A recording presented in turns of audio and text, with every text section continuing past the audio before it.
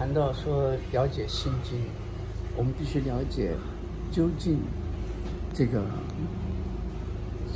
这个佛法的这个这个真理是什么。如果了解佛法的真理是什么，心经就不难懂了啊。那么佛法的真理是什么呢？我们谈不要说佛法的真理，讲真理，真理是什么？啊，真理是放诸四海皆准，颠扑不破，超越时空啊。很幸运的是，佛法在刚好解释的就是真理。本来真理跟信仰没关系，它是超越时空的，超越宗教的。啊，那么究竟什么是真理呢？可能我说一个真理，你说个真理，他说个真理，这样就不是真理。真理是跨越所有的一切，否则就不叫做真理。那么怎么样来让我们更容易了解这个什么是真理呢？我们先从。另外一个角度来看，就是真相。宇宙人生真正的现象是什么？大家可能一讲出来，大家都容易懂。否则的话，你说这是真相，我说那个真相，那么就不是真相。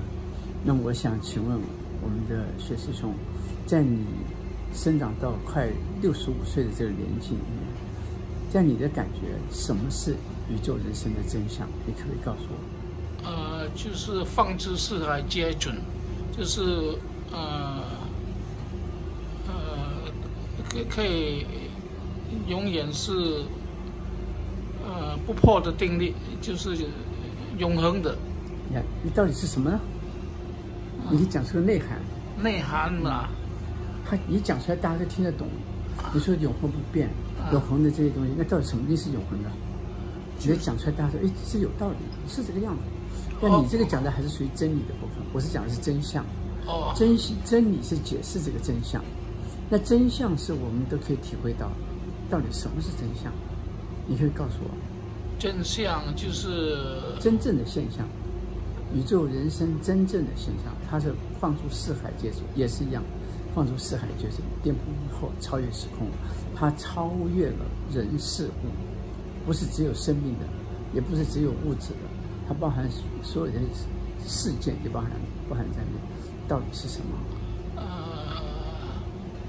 到底是什么东西呢？嗯，呃，你能够讲出真相是什么，然后就可以用来了解真理是什么。因为真理是在解释这个真相。真相就是，呃呃，大家都会相信的。大家都都不止相信，他绝对不绝对承认。啊，相信还是属于信仰的。你这个承认就是这个样子，跟信仰没关系的啊！你是基督徒、天主教徒、佛教徒、唯物论者、唯心论者，都都承认，哎，那才叫做真相，否则的话就不是真相啊！你知道是什么？那应该是什么？呃，变化。哦，变化。记不记得？变化。所有的东西都在变化中。哦。你说我们全世界七十亿人口，男的、女的、老的、少的、黑人、白人、中国人、日本人、德国人，哪一国人都没关系。从父母亲生我下来，到今天，不管是二十岁、三十岁、八十岁、一百岁，都在变化中。没有变化，你长不大了，是不是？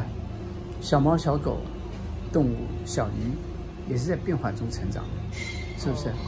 山河大地也在变化中，一个小树枝变成一个大树木，就像我们那天去旅游看到，很早以前它很小的树，它在变化中。我们去看养马文化，两两千多年的养马文化。很很那，可是现在都没有了。它也是在变化中，是不是？说到变化，我我我又打断您一句话啊。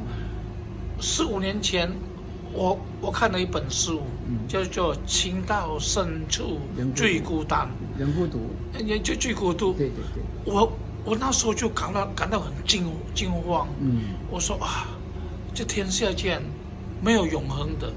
那我我那时候很很忘，我认为说哦，夫妻啦，呃，所有的东西都应该是永恒不变的。是。然后那时候就开始才了解什么叫无常，这是变化，就是无常。